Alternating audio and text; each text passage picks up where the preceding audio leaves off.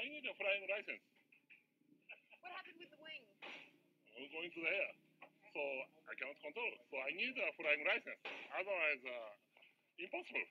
How wonderful to see you safe and now talking to the fans. Yeah, because my car is a very, very, you know, nice, you know, for safety reasons. So I'm here.